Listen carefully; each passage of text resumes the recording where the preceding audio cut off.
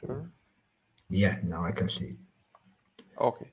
Yeah. So the stage is for you. Okay. Uh, thanks, Luca.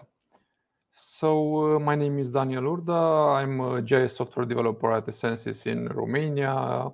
And today I'm going to present a more uh, practical implementation of uh, Inspire directive on a specific dataset.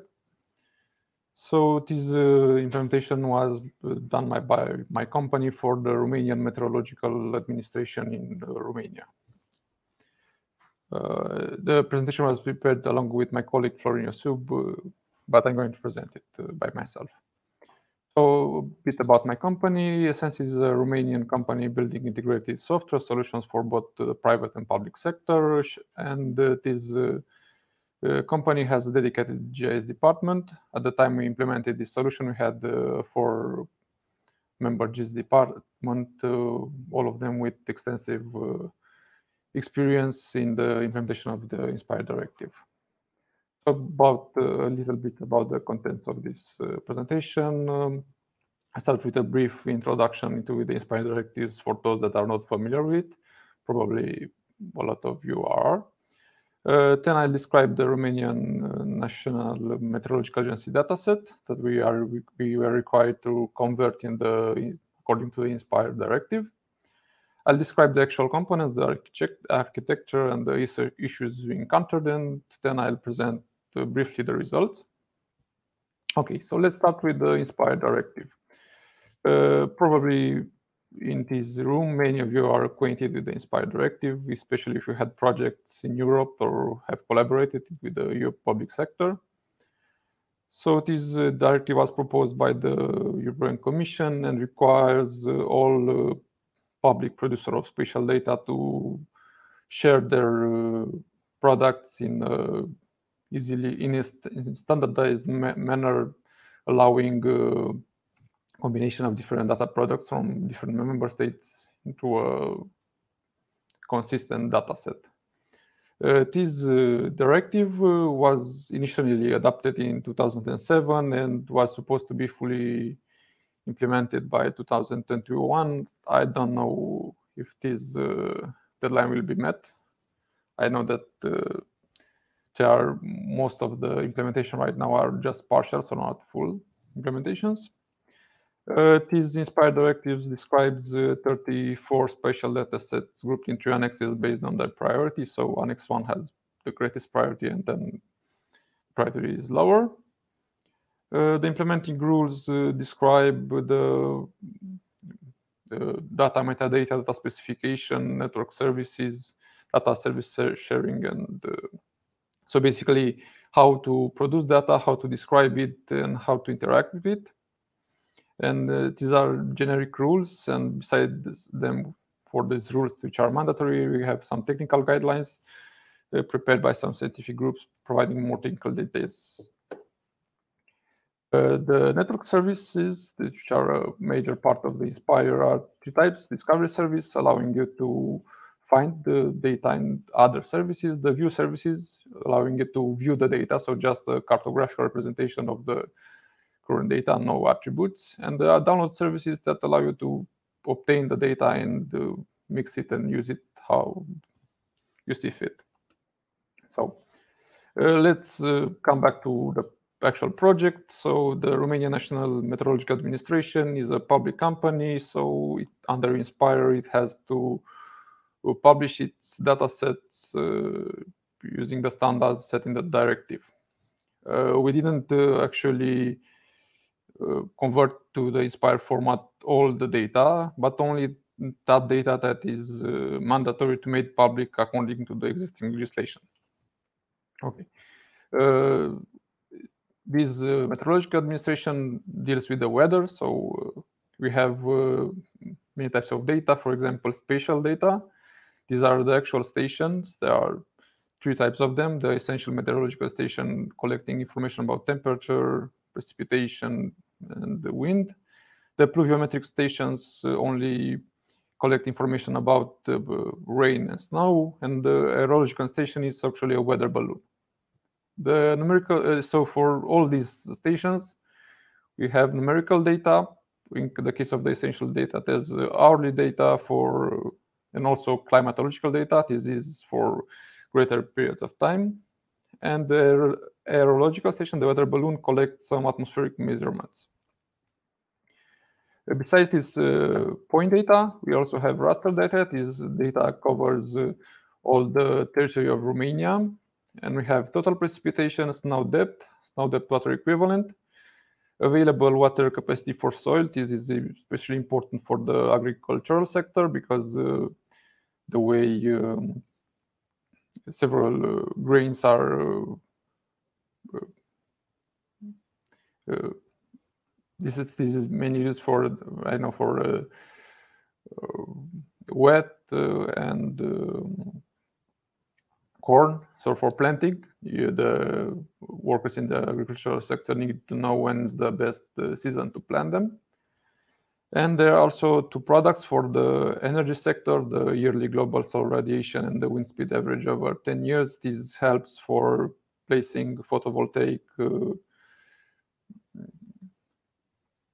uh, infrastructure and also for windmills and things like that. So mainly for producing energy from solar power and wind power.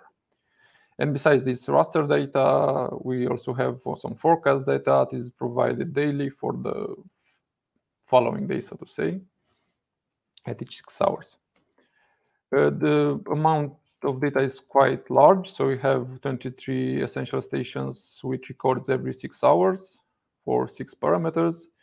Another 100, 140 weather stations with only two parameters every 10 years. This is mostly for the energetic products.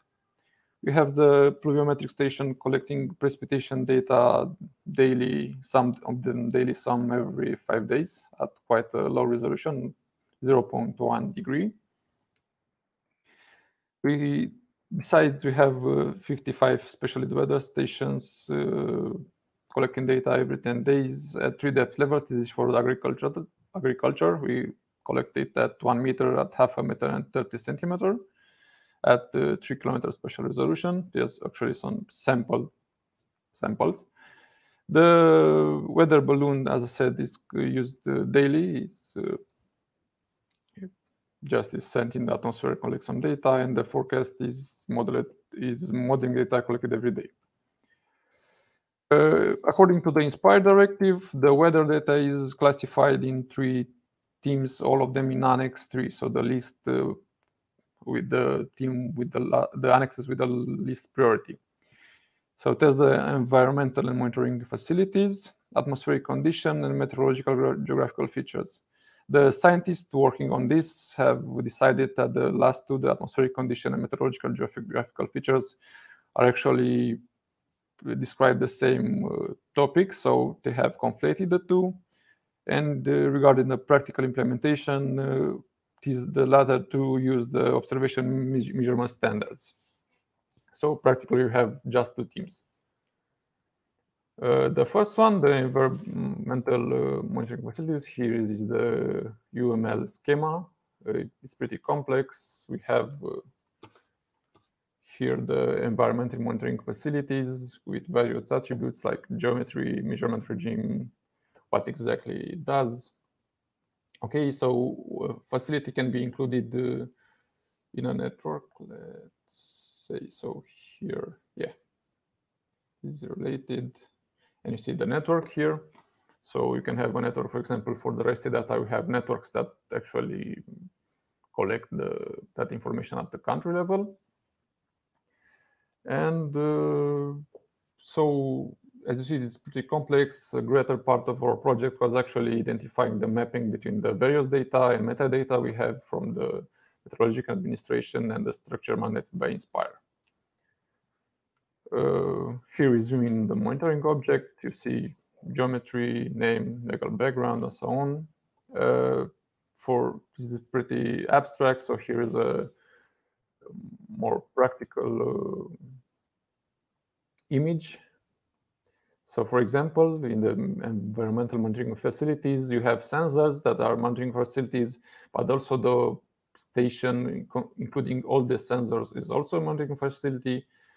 And uh, you have different values. For example, you have observing uh, capacity and observable property for each of them. So both for the sensors, also for the um, uh, weather station, and also in the case of raster data for the whole network. The other two teams that are described according to observation measurement uh, standards. This is the UML schema of the observation measurement models. So while the environmental facility describes the collection points, this uh, other schema describes the actual results.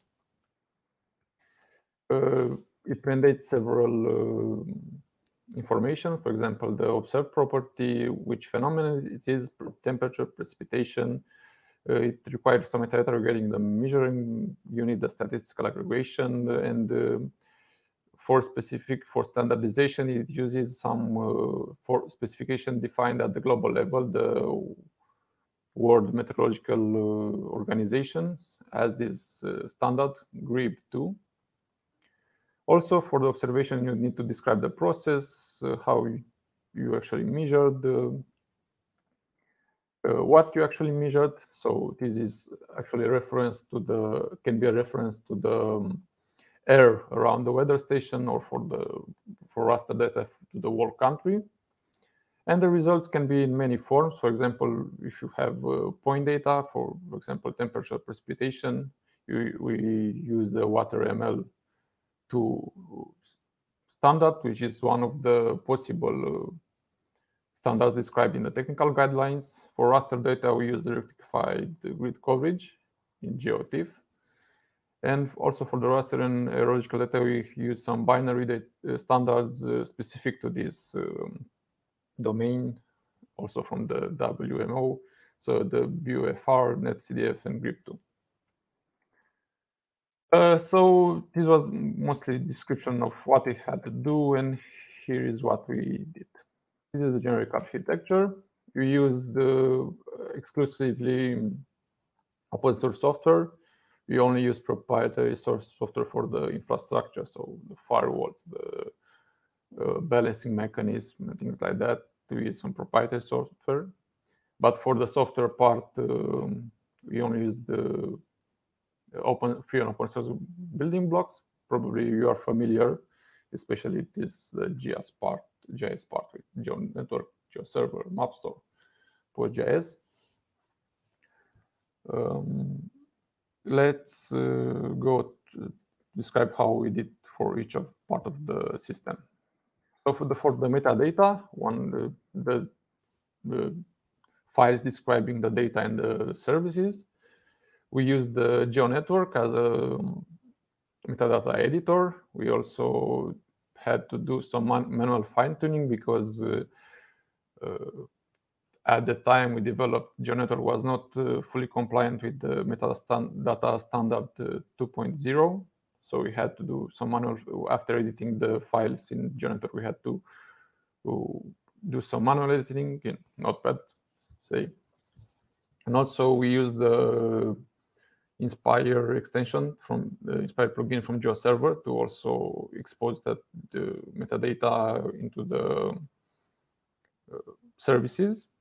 For the OGC services, the network services mandated by Inspire used also GeoNetwork for this discovery service, the catalog service or web standard. While for the view and download services, used GeoServer and the Inspire plugin. And for validating these metadata, we use the ETF web app. At the time, um, it was an older version, so not the version actually currently used by the uh, European uh, geo portal, but uh, it's still compatible. So we checked our services with the new uh, validator, and it still work fine. The data specification uh, because, uh, of course, uh, the meteorological administration had some own structures of data. We had to move that structure into a uh, structure that was compatible with Inspire. We use the PostGIS, Postgres database with the PostGIS plugin, plugin for GIS.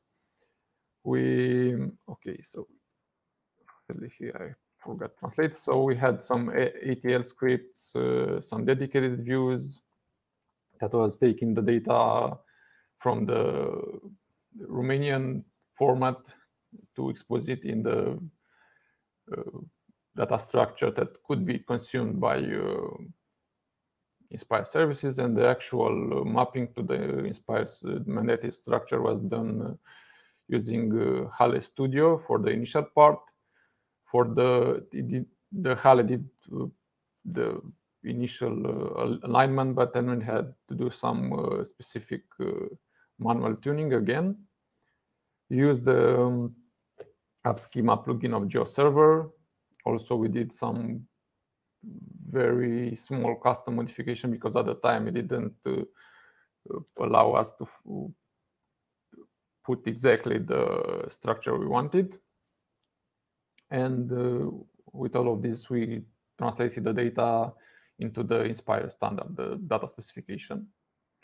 For the network services, we use the classic uh, so to say. Uh, I mean, for us, it's the classic uh, infrastructure. So we have discovery services in GeoNetwork uh, and um, view and download services using GeoServer, using the app schema plugin.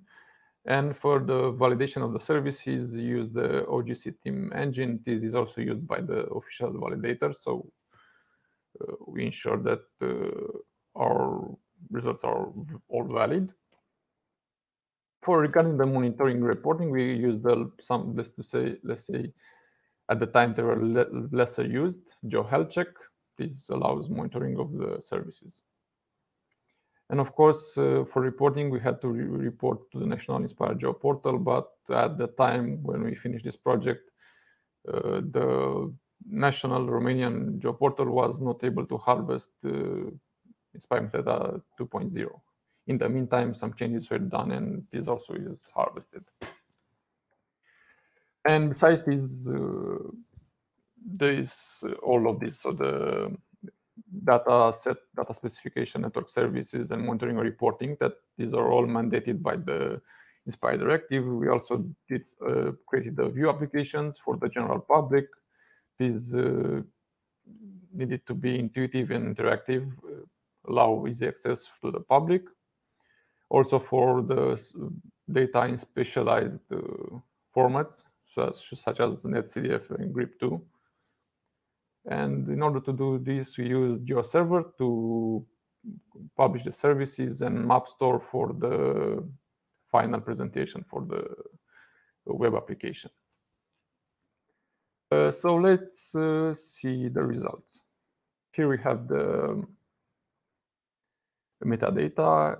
Uh, I'll try to open them. Uh, probably you are pretty much aware how this should look. Bring it here.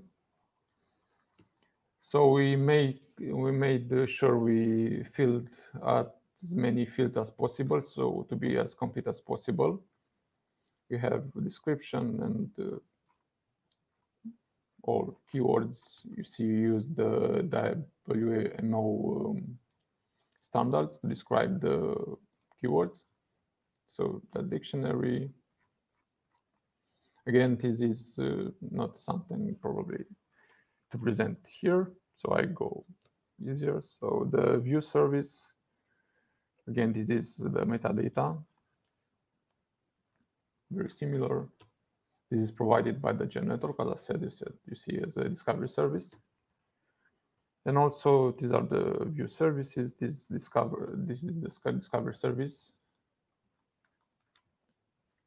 provided by GeoNetwork and the view service and download service provided by GeoServer.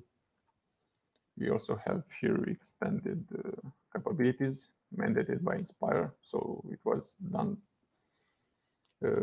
as be the best practices indicated and to be 100% valid with the current uh, uh, technical guidelines. Okay, uh, then we have some user interface. Okay.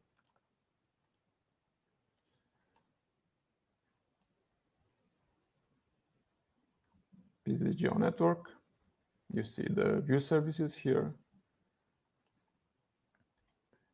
again, capabilities for WMS, WFS. For example, here, uh, these are the essential weather stations. Here are uh, the snow depths. Again, this is all public, so you don't need any password or thing like that. Also, we have uh, the results in Inspire format. This is a very large file. Hopefully, it will open. And um, again, you have some samples here, how they exist, for example. Me see the point observation.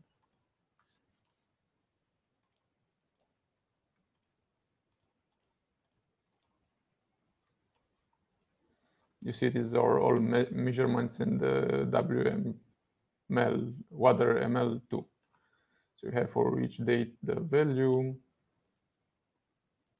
and uh, here it's let's see.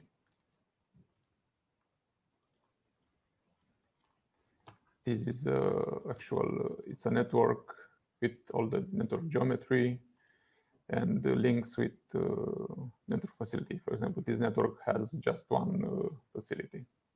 Oh no it actually has many of them. So we have this one has a lot of facility. Each facility, you have the date when it started and link to the actual facility.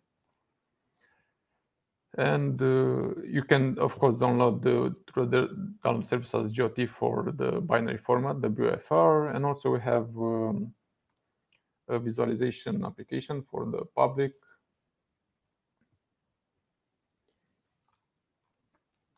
Here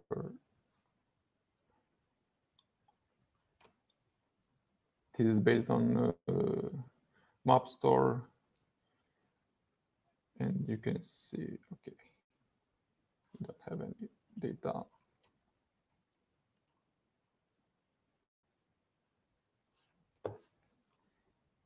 So let's see the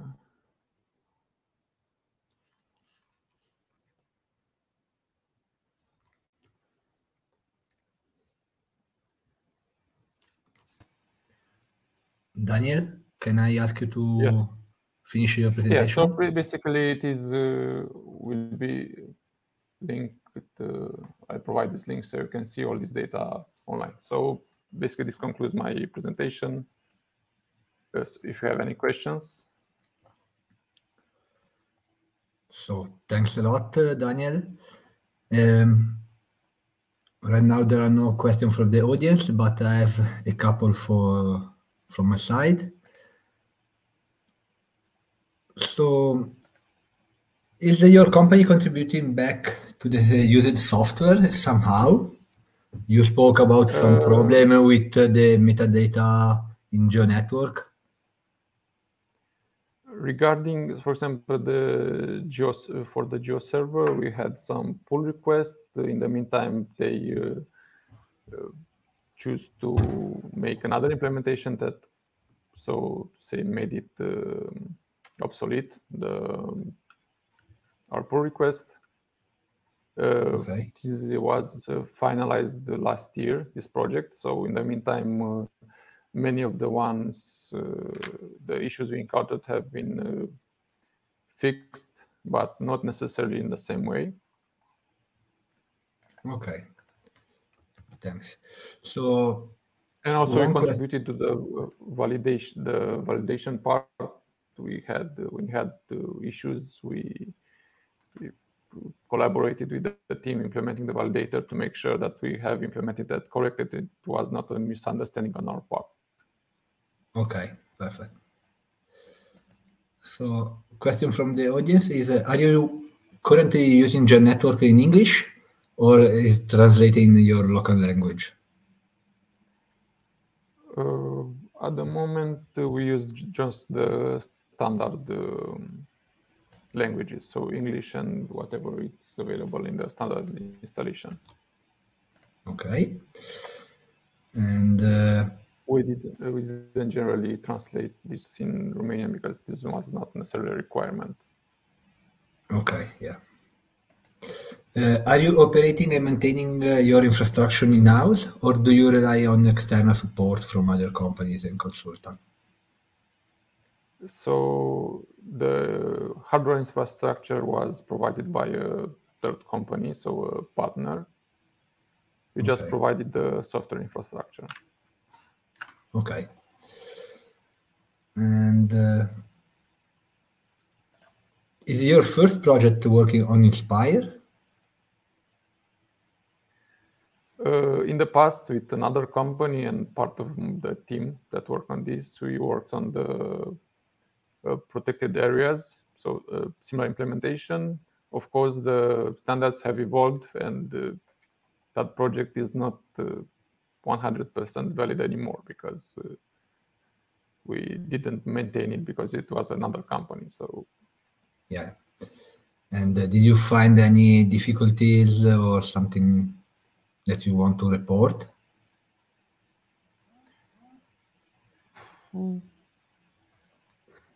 yeah, there are.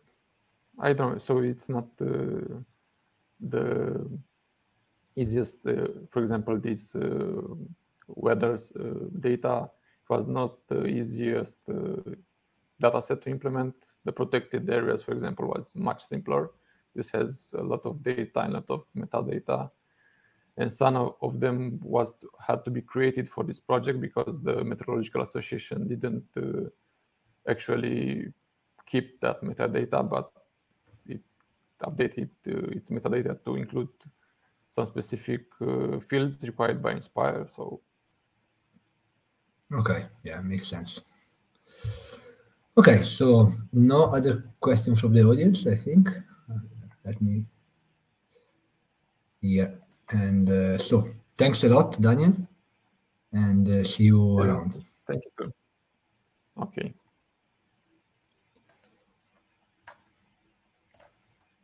In uh, one minute and a half, there will be the next talk.